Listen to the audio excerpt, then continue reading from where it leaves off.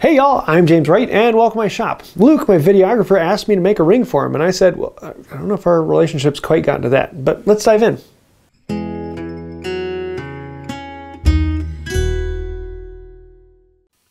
As with all Wood by Wright projects, we're going to be starting this off with African Blackwood, Padauk, and of course, White Oak. Yeah, you didn't think I'd leave that out. now, I've made a couple of these in the past, and I've done one out of a solid piece, and those don't last quite as well. It's usually best if you laminate them. And all of these pieces have actually been uh, they've been stabilized, so they are fully filled with polymer, uh, and they will not move quite as much, but they also makes them a little bit stronger, so they hold together better. Uh, these need to be very, very thin pieces. So we're basically making thick veneer. Um, I have done one other one where I took a bunch of veneers and glued them all up, but then it ends up just being colors and strips. And I actually wanted to see some of the wood grain in this. So we're going to make five layers on this, and each one is a little bit thinner than an eighth inch. It's a really, really thin stuff. And also keep in mind, the bigger you make the ring, the stronger it's going to be, the longer it's going to last. But that also means that uh, it's a big ring, and big rings don't always feel good on the hand. So we can cut them down to thickness and then plane them down. We're going to start with planing one side perfectly smooth. That gives us something we can glue to. And then the other side is a little bit more difficult, but we cover that here in a moment. These pieces are small enough that I'm actually resawing with a dovetail saw, which uh, sounds a bit confusing, but yeah, that's what you need. It's a ripping, and it's a short rip, and, and dovetail saw works great for this. We're going to cut these all down to about the same size. We're starting with something about an inch and a half by an inch and a half ish um, give or take. Uh, we want to make it bigger than it needs to be so that we have something to play with because uh, we can always make it smaller, but we can't always make it bigger. And it depends on the ring you're making. If you're making a small ring, you get smaller pieces. For planing them all down, I love double-sided tape, and you can put them all down on the surface with the surface that you have already planed flat, and then you can plane them down, and the tape holds them in place.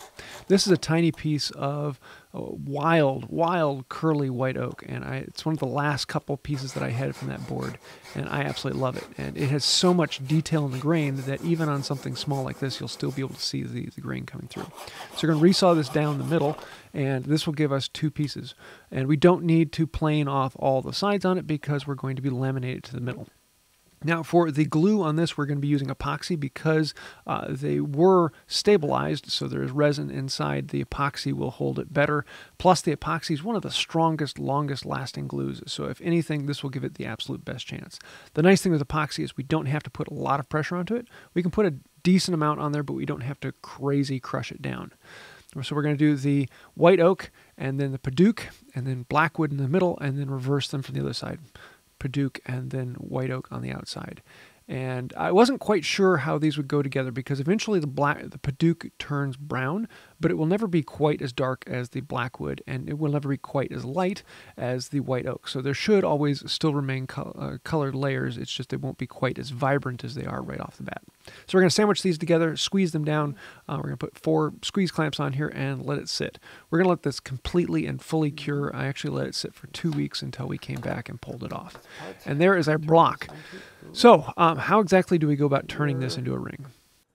Luke's current ring ended up being about a size 11, and he wanted it to be a hair bigger, so we're going to bump this up to a size 11 and a half. And that means we need to figure out how does that actually translate. So putting on the mandrel lets me know what size it is, and then I can bring that over to a wooden size. And this hole is a little bit smaller it needs to be. This would actually make it somewhere around a 10 and a half, 10 and three quarter. And then I can come back in with a file and bring it open just a little bit. Now, at this point, you could stick your finger in there and test it, but last time I made one, I had the problem if I stuck my finger in there and I couldn't get my finger out, and I had a block of wood in the vise, and I had to call my daughter down from upstairs to come and take me out. I'll leave a link to the old video. It was actually rather hilarious. And I'm also going to drill a hole through my uh, hand screw vise into the uh, into the ring and this way I'm not going to have any splinters out because it's very important that this be solid. I'm going to use um, a pre-drill of an eighth inch hole all the way through this so that the lead screw on the auger bit doesn't split it out. We're going to work it down in there and then put a block in back for it to go into. And so this whole thing sandwiches together so that I get a nice, clean, straight hole all the way through it without it splitting out. And then I realized, oh wait, now it's just going to rotate inside. So I squeezed it down more, and it still rotated. I squeezed it down more, and it still rotated. and so then I put another clamp on there, and that actually held it and kept it from rotating. you live and you learn. Uh, so we just keep on going through this, and I'm taking it nice and slow. I'm not chipping anything out. I'm letting the blades do the work. Um, just letting them go at whatever speed they want. Once we get all the way through, then theoretically we have a hole going through the middle that's just a little bit too small. We can come in with a file and open it up until it's really close. At this point, you could try and fit it under your ring, uh, but you want to make sure you round over the edges. You don't want the sharp edges on there, otherwise you're going to have a hard time getting it off. Um, so I, I, don't actually try it on until we get the outside a little bit smaller as well. But we can come through here and clean off the edges, make sure that they're soft, just in case we do decide to stick it on a finger, we can get it off. Now I want to make the outsides, um, uh, I left those a lot bigger than they are, so I can actually use a file to plane them down. Um, because at this point, I really don't want to take a plane into this. We're just going to be using files and rasps. Rasps allow you to do a large amount of work and then come in with the file and get it a little closer. Uh, for the big corners, we can come in with the saw and hack those off and basically turn it into an octagon. And then from an octagon, you can rasp it down into close to a circle. And then you can figure out how thick do you want the walls in this. The thicker you make it, the stronger it is, the longer it's going to last. But the thinner you make it, the better it feels. So you're kind of playing this whole balance back and forth of how thick do you actually want to make this. I ended up making it just over an eighth inch thick. Um, that's a little thicker than most people like it, but Luke has big hands, and that actually felt uh, felt pretty good to him. And he's actually been wearing this ring now for I think it's been about a month now, and uh, has been enjoying it. So, yeah, um, I'm going to use some calipers to mark in from the inside all the way around about how thick I want it to be and you get that little line on there on both sides and then you can come in with the rasp and rasp it down until you just touch that line on all sides. This will let you know you're really close to round. The rasp gets you close to where you want to be and then the file comes in and details it. You also want to use this movement where you start vertical and then rotate across. And if I'm just removing a lot of material, I'll just keep in one place. But if I'm getting close to my line, I'm going to rotate the rasp as it comes up and over the ring. This will give me a nice smooth surface. And uh, it also makes it so you're less faceted and more of a, a rounded, smooth feeling. and at this point, um, this whole process took uh, about half an hour, 45 minutes. It's one of those things that feels like it's going to take a lot longer, but when you really get to it, uh, it goes pretty quickly. We're going to round over the edges just a little bit, and I'm using my finest rasp to get it close to its shape. And then we're going to come in with a relatively coarse file and then we're going to come in with a medium file, and then we're going to come in with a really fine file, and you're just taking it down until you get it really, really close. Now it's around this point you're starting to think about uh, the finish you want on this. What do you want? Do you want a high glass surface or do you want to feel the wood?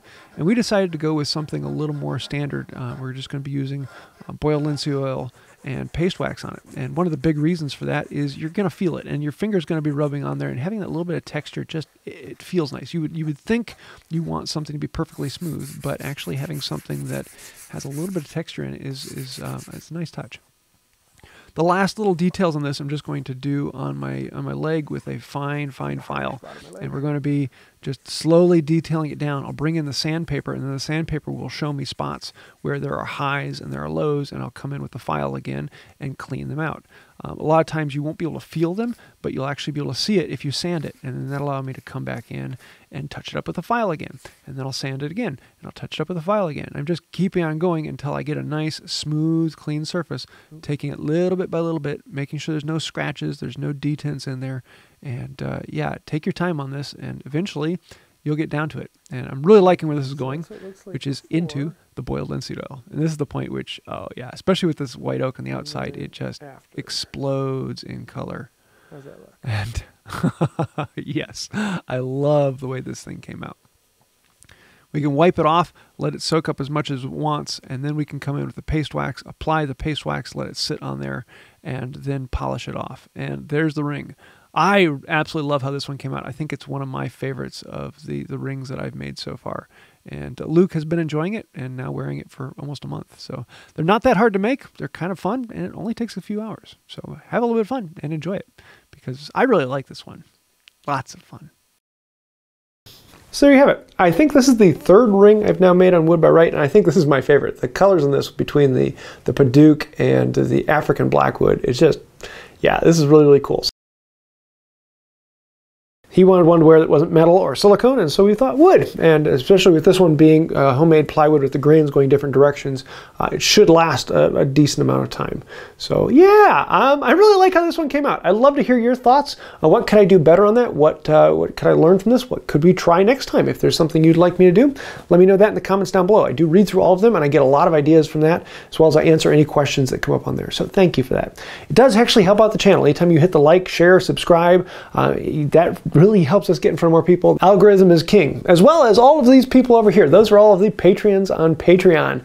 Without patrons, um, we wouldn't exist, and they are all of the kings and queens of Wood by Wright. So thank you for that.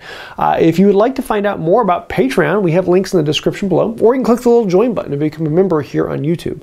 We have special perks for both, and really that means more than I can say because without you guys, we wouldn't exist. We're completely sponsored by you. So I think that'll do it for now. And until next time, have a wonderful day. Do you guys hear that? Or is it just a ring in my ear?